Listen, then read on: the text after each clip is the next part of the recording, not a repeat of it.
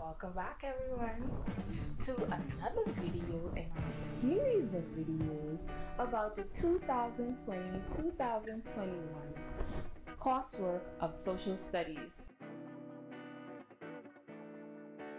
As we know already, this is about hurricanes in the Bahamas. So this is going to be all about question number one. We know question one already. This is the classification of hurricanes according to the Saffir-Simpson scale is from 1 to 5.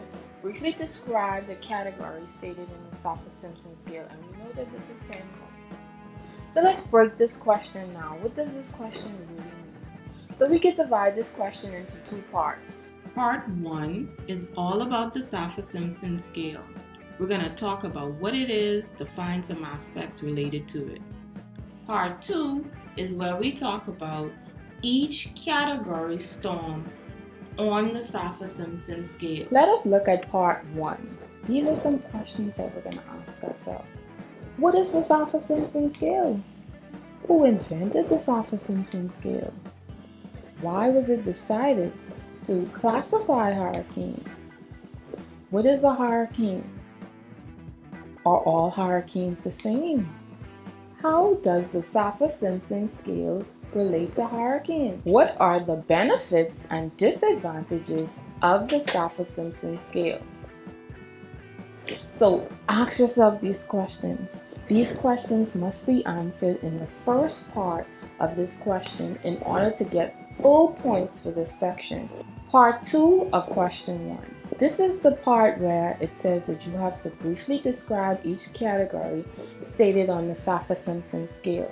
What does all this mean? This means to explain in full details. That's what describe means. So you're going to tell me in detail each category of the Saffir-Simpson scale. So there's a category one hurricane, category two. I want you to tell me all the details related to it. So I want you to tell me things like, does this deal with wind? What are the winds associated with it? Does this have to do with um, Hurricane Ike, Hurricane Irma? I want you to tell me fully all those details. How much description is needed to get the full 10 points? A lot. So I want you to describe the wind speed, wind direction, destruction of the property, loss of lives. That's what I mean by describe. Should I include pictures to get more points? Nope. No extra points are given for pictures. Pictures can be included, but sometimes they get a little tacky, they take up a lot of space, so they're not really necessary.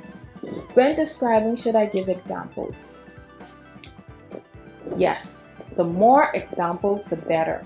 Give examples of places where hurricanes occur. Give examples of your aunt or uncle who was in a hurricane. Give examples of the winds that you saw during a hurricane. Give examples, examples, examples. The more examples, the better. So let's check in. At this point, you should be able to explain question 1 fully on your own. Let us now analyze two sources within the coursework that's going to give you even more information. Source A. Source A is Hurricane Irma in 2017. What information can we gather from this picture? That's the first question that you need to ask yourself.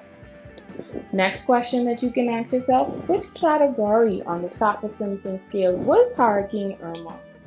Another question you can ask, what does this symbol use in this picture tell us about the category of this hurricane? What were the weather conditions associated with Hurricane Irma? This source A, if you can answer these questions and you can extract that information, all this is going to give you a lot of meat for your description of hurricanes. Source B. What can we gather from this source? What can we get from this? It says that the North Atlantic hurricane season was mentioned. What can this tell us? Can we really know that this was the greatest hurricane if there was no scale created? Can hurricanes like this lead to the creation of the Saffir-Simpson scale? So once again, Source B has lots of information that can help you give some meat for your description of your answer for question one. So use these points. Answer these questions. It's going to really be helpful. Say you went through all of this. You know what question one is all about. You know how to extract that information from the first two sources. You've got a lot of examples, but say you still need more help. Here's what we can do. I have a lot of research already done. I'm going to insert a video clip right about now. Okay, so in the description panel below, you'll see a link to this document and this is all the research that you need on the Saffir-Simpson scale. When you access this document, I've also highlighted some key areas that can help you and I've asked some posed some questions that's also useful for you. So please go over this research with a fine-tooth comb. Make sure get the answers to these questions and you'll be well on your way to answering question one.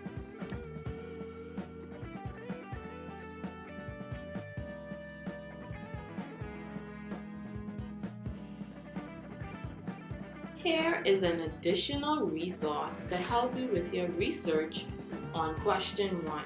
This is all about hurricanes this time. So here I've highlighted some key points to assist you with your research. Please review this carefully and you'll be well on your way to answering question one. This is an additional resource to help you answer question one.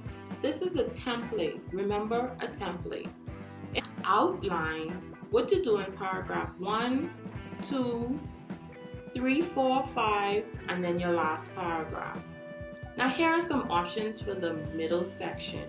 You could categorize the hurricanes into smaller sections or you can take them individually and put them in their own paragraph, however you decide to do it. But always remember your last paragraph, you must summarize the points that you mentioned in question one. Ms. Polak is now giving you all the research in the world. Question one is now done. At this point, you should be able to explain the two sources that we just analyzed. You have a lot of juicy points for your question one to answer it, you should be able to answer question one fully, right? So now it's your turn to show off and show out. Let's do this. All you need now is to sit down, quiet area, and get question one done. All the best.